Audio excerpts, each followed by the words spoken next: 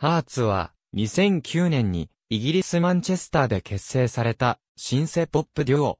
2005年12月に音楽性の共通項を見出したセオとアダムが出会い、バンドの原型が1年ほどかけて形成される。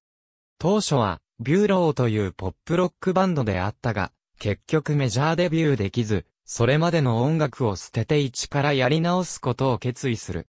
当時は失業手当を受けるほど困窮した生活を送っていたが、身なりさえ綺麗であれば、仕事をしていなくても他人に見下されずにプライドを保てるという理由で、モノクロかつクラシカルな古着を着るようになる。これは、現在のハーツのコンセプトにも継承されている。2009年春、ワンダフルライフの PV をアップロード。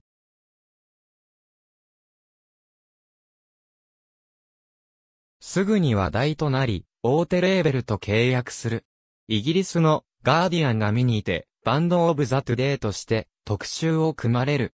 また BBC の2010年期待する新人において、たった一曲しか発表していないにもかかわらず4位につけた。ファーストアルバムのハピネスにはデビューシングルのベターザンラブやカイリー・ミノーグとのデュエット曲デボーション、アーサー・ベーカーにリミックスもされたワンダフル・ライフなどが収録されている。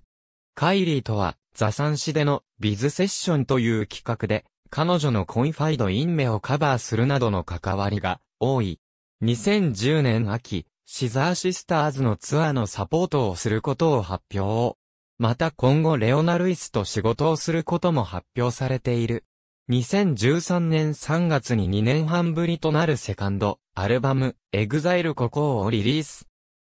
同作のタイトルについて、セオは日本でタイトルを思いついたと語っており、日本のバーにいる時に、 Exile って言葉が突然降ってきて、それが頭にこびりついて離れなくて、自分の心の中にストンと落ちてきたし、アルバムのタイトルとしても理想的で、すごくイマジネーションをかき立てられる言葉だし、物語を感じさせるよね。何よりも、当時の自分たちの置かれている心境と、シンクロしてるような気がしてね、とコメントしている。ミラノにて、ありがとうございます。